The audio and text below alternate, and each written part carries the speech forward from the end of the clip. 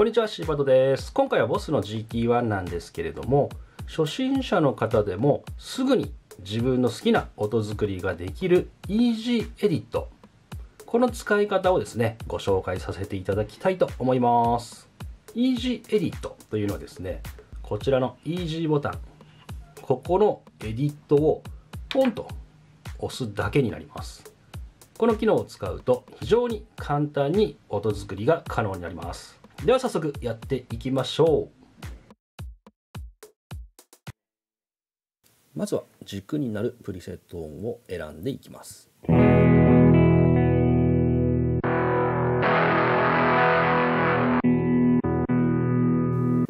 番のつまみをくるくる回してお好みの音を選んでください。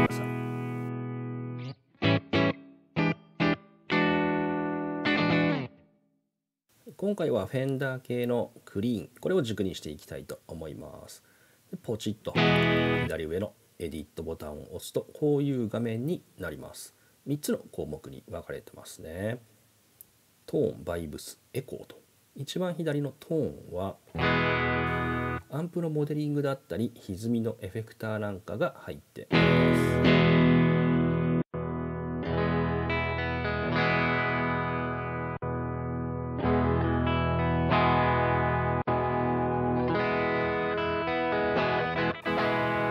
クリーンも歪みもくるくるっとつまみ一つでできます。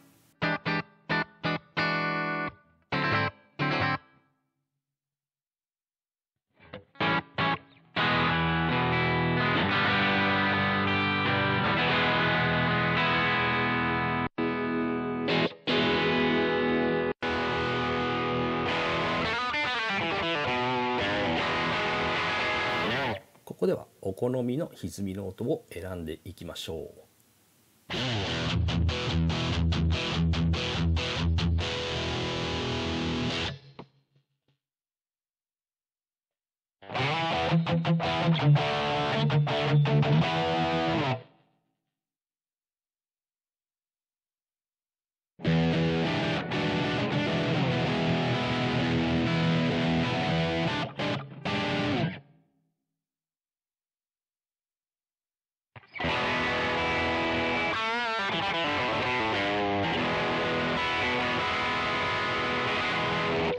今回はブルース系でいきたいと思います。で真ん中のバイブス。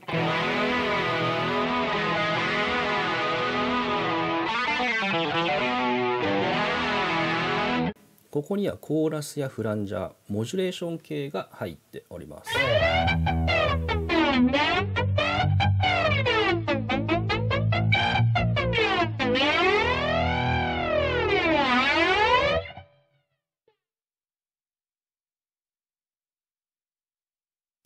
つまみ一つでさっとまたクリーンに戻すことも可能です。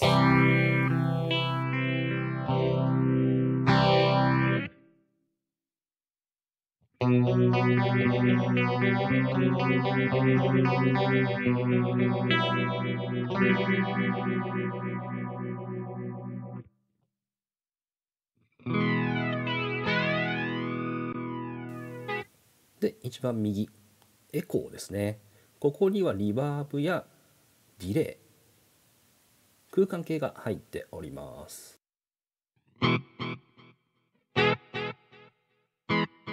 今赤い点滅これはですねタイムを変えれます。タップですね。早く押すと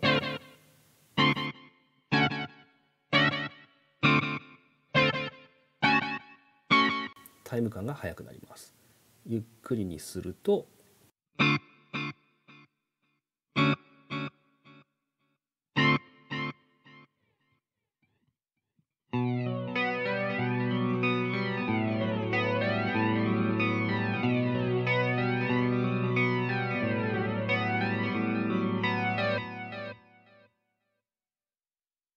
一通りの使い方はこういうふうな感じでではですね次は音を作って保存していきましょう。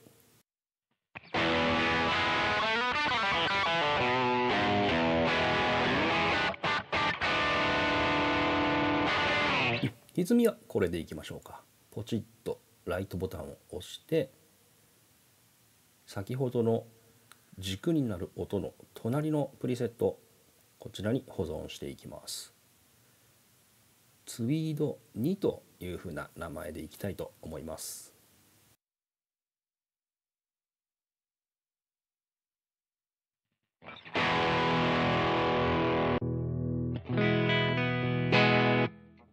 この後3と4音を作っていきます。そして3はこちら。モジュレーション系を使っていきましょう。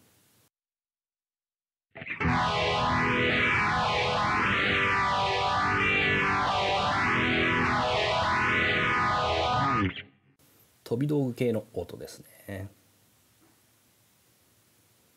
これはツイード3という名前にします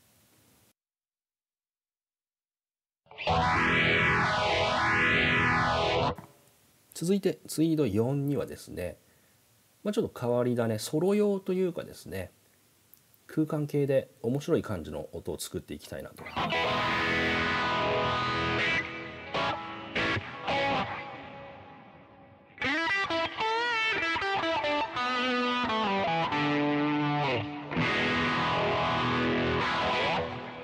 テラエコ面白いですね。これをツイード4という風な感じのプリセット名にしていきたいと思います。ポチッと。これで4つの音ができました。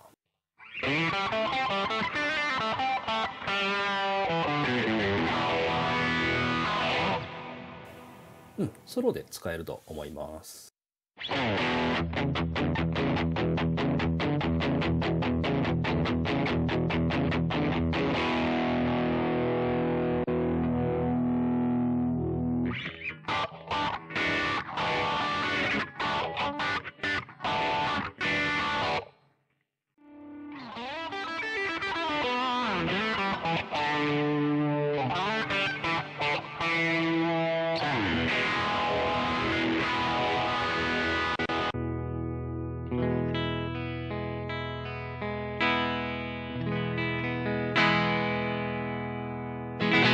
という感じでですねサクッと4つの音を作ることができました。